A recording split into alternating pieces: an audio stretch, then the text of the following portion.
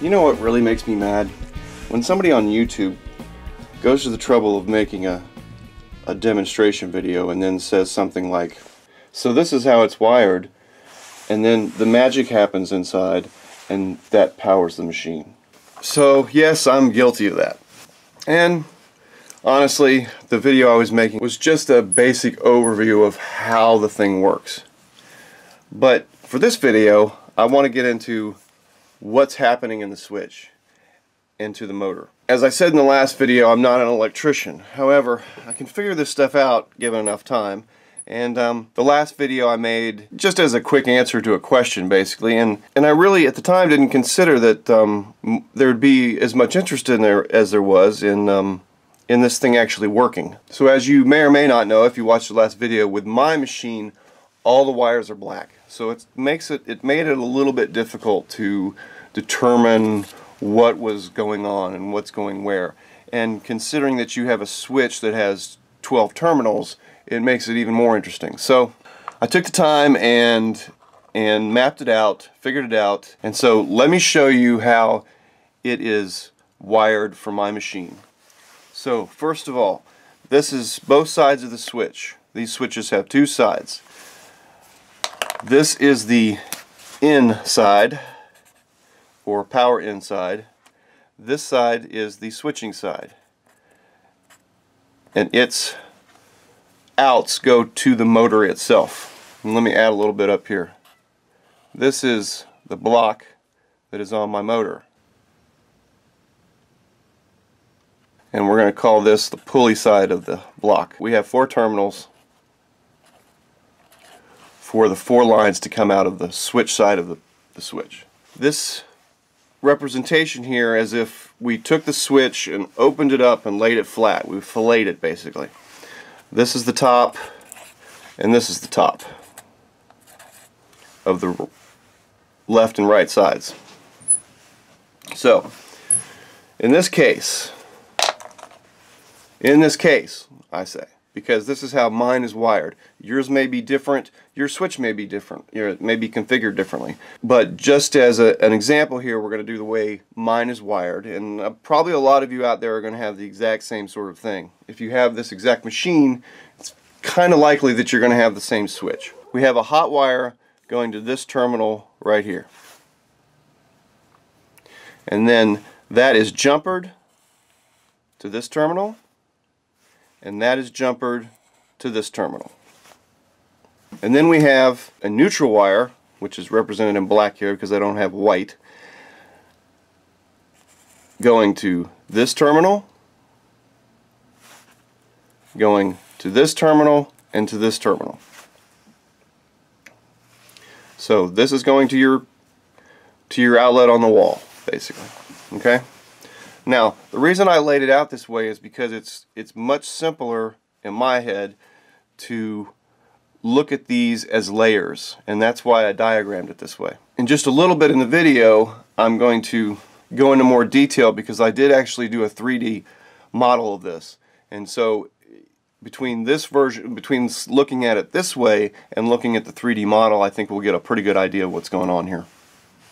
So when you look at it with layers like this, you see that this layer, these two layers, are positive. These two are neutral. Okay? The same thing is basically going to happen on the other side except for some magic at the top. So, when you switch on your power to either side, doesn't matter, what you're doing is you're switching on this layer and this layer. So dealing with the hot side first, when you when this side gets switched on, you get power to this terminal from this terminal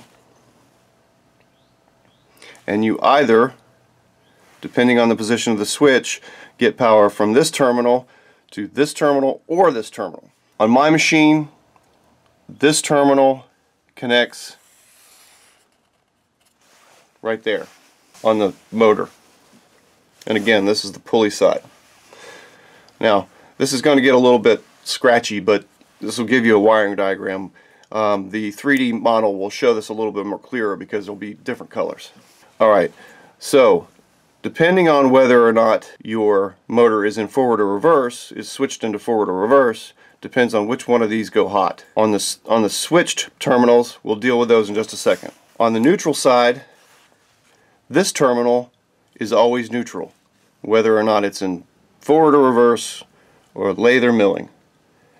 And that terminal goes up and to the first position on the motor. Now the actual switching begins. And let me just put this out there because I'm pretty sure this is what's happening. These terminals are your start circuit. They go to the start capacitor. They always are energized no matter which position the, the switch is in except for off, of course. They aren't energized when it's off. So, the other two wires, we'll put these in blue, that go to the motor, go here, from here to here, and here to here.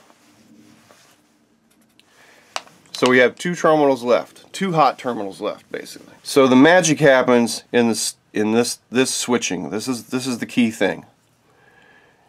You have a jumper that crosses from here and a jumper that crosses to here. Okay? Depending on what position the, the, the switch is in determines whether a hot is on this side or a hot is on this side. It also determines whether a, ne a neutral is on this side or this side so that you are reversing these two lines. These are the only ones that get reversed. They're either going to be, one's going to be hot, the other one's going to be neutral, or this one's going to be hot and this one's going to be neutral. That's how that happens. That's what this, this cross jumper is. So I've always been, you know, a real visual learner. I was always better at trigonometry, geometry, and calculus than I was in algebra because algebra just seems to be abstract to me. And that's the reason I sort of went to the trouble of actually to actually model this in a CAD program so that I could then produce some technical drawings here. And um, let me just say that this particular technical drawing, um, I'm going to put a link to it just in case you want um, a template to use to map your own switch. I'm not going to put in the lines, I'm just going to put in, I'm just going to give you the template of the 12 position switch or 12 terminal switch. This is considered a three position 12 terminal switch. As part of that modeling and as part of me getting some practice on FreeCAD, um, also did a 3D model and let's kind of take a look at that and uh, I think you'll really be able to see there how that switching works. Okay, so here we have the switch. Now this switch is in the off position. This is the top. And you see we have our power side coming in and the motor side going out. If we switch over the load side or line side coming in, the hot side, that does this little jog right here with jumpers. Same thing on the neutral side, does this jog with jumpers. You can see our different layers here. And you can think of these layers as kind of each one is its own switch. At least that's the way I like to think of it. And each terminal would be, then be a point in that switch. So if we rotate here, if we can do this, gotta forgive me, I'm still learning the software a little bit. So rotating is a problem. But you can see our power layer here. This is always on. One neutral layer that, it originates from is always on when the switch is in the on position. In reverse or forward, those those two are always on.